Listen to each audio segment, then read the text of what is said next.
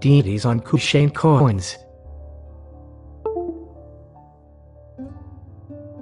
Mesopotamian connections. Nanaya. Nanaya is a moon goddess which appears on the early coins of Kushans and is depicted wearing a crescent and holding the wand in left hand seating on a lion. Nanaya is linked with a variety of deities like Nanaya may refer to a pagan mother goddess Nan, worshipped in Armenia. Nan was a goddess of war and wisdom. The Mesopotamian goddess Ishtar, or Inanna, the goddess of love, war, fertility and sexuality. She was particularly worshipped in northern Mesopotamia, at the Assyrian cities of Nineveh, Ashur and Arbela. Inanna is associated with the city of Uruk early as the Uruk period. Astarte, chief female divinity, or regarded as the masculine form of Ishtar in Akkadian cult. Often worshipped in Syria through the Bronze Age. Her cult was mostly found in the Mesopotamian cultures of Assyria and Babylonia. The cult of Nanaya is also linked with Old Persian goddess Anahita, who herself is often linked with goddess Anahit of Armenia. All the above-mentioned goddesses have the lion and a star as their symbol. Nana Nana also appears on many Kanishka 1 coins. She too is often depicted with a crescent and holding a lion finial wand.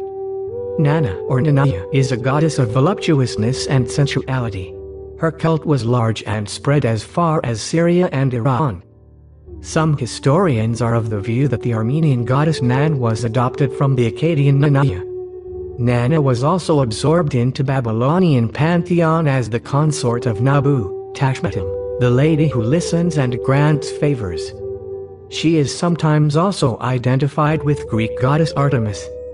Nanashau. Nanashau appears in Huvishka's coins. She too is linked with the Sumerian mother goddess. Nana. The cult of Nanashau can be said to be prevalent in Balochistan. Worshipping Bibi Nani and in the Kula Valley worshipping a similar goddess. Nana Devi. Scholars regard all the three Nana, Nanaya and Nanashau as one mother goddess of Sumerian origins. The cult following seems widespread with votive images appearing in Palmyra, Susa and Ashur. Egyptian deity Sarapo Serapis Serapis and Sarapo is a Greco-Egyptian god whose cult can be traced back to 3rd century BC on the orders of Ptolemy I of Egypt. The cult of Serapis was introduced by Ptolemy I in hope to unify the Greeks and Egyptians in his realm. Serapis derived from the worship of the Egyptian Osiris and Apis. The cult continued to spread even during the Roman times, and with some cultural migrations sipped into the Kushan pantheon also. The early coinage of Kushan had a great Greek iconographic influence and were struck depicting the Greek deities. However as the Kushans created a vast empire under Kanishka I the iconographic imagery, as well as the deities on Kushan coins, became more and more Indian. The religious pantheon under Kanishka I and Huvishka drew heavily from the pre-Zoroastrian Iran and the Hindu and Buddhist pantheon. The coins of later Kushan rulers mostly depicted Oesho and Ardaksho, Scholars are of the opinion that the iconography introduced by the Kushan in their coins was continued by many dynasties that followed the Kushans. Iranian adaptations. Ardaksho Ardaksho is the Kushan goddess and guardian of wealth and prosperity. She appears on the coins of Vimatato, Huvishka and on all the coins of all the remaining later Kushan rulers except Vasudeva I. Ardaksho is often considered to be the Zoroastrian Ashi Vanguhi or Ashi, the divinity of fortune, the one who confers victory in time of battle. Interestingly, this goddess is also linked with an Indian deity and Buddhist guardian goddess of children and women at childbirth, Hariti. Ardaksho is also linked with a Chinese goddess Naya. Ardaksho is also linked by some scholars to Indian Sri Lakshmi, Ardaksho is also connected to the Greek goddess Tyche of good fortune. Ashikso. Ashikcho a god which only occurs on the Kushan coins of Vishka. He is linked with the Zoroastrian god Asha Vahishta, the god of truth, righteousness, right working and order.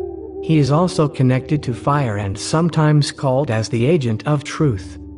Asha Vahishta has an Indian equivalent Rita, which is the principle of the natural order. Athsho. Athsho is the fire god and is shown on the coins of Kanishka I and Huvishka with fire tongs held in his hand. Athsho can be linked with the Zoroastrian Atar and Persian Atash, which is the concept of holy fire. Athsho is also linked with the Greek god Hephaestos, the great Olympian god of fire, metalworking, stone masonry and his sculpture usually depict a bearded man holding hammer and tongs, the tools of a smith, and riding a donkey. The cult of Athsho may have been prevalent in northeastern Iran and mid-Persia.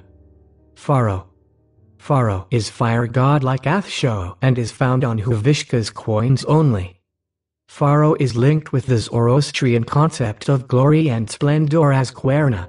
The word Khvarenah is found in many inscriptions from the Sassanid era and seems to have been adapted in many of the Iranian cults. During the Middle Period, it got adapted into Bactria as Pharro, Persian Far, and the Parthian Far.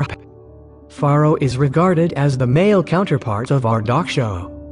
Pharro is also correlated with Kubera Pansica, as on many coins Pharro is shown with a money bag in his hand. Dravaspa Dravaspa is originally a female deity in the Zoroastrian pantheon which means with solid horses. The word in Avestan language means enigmatic. Dravaspa appears on the coins struck by Kanishka I and Huvishka and such coins are rarely found. Dravaspa appears on Kushan coins as Droospo, a masculine form of the name, and is also depicted as a male figure. Dravaspa is also in connotations connected with the mid-Persian Lohrasp, the father